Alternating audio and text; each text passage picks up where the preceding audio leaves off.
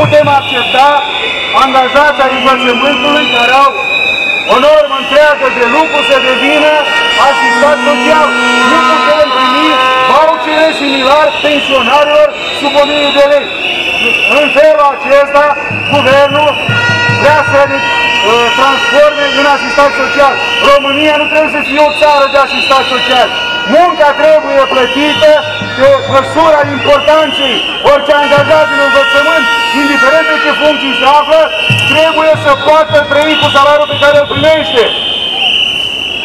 Mesajul este de unitate, de uh, hotărâre și trebuie să continuăm protestul până când vom obține recunoașterea importantă.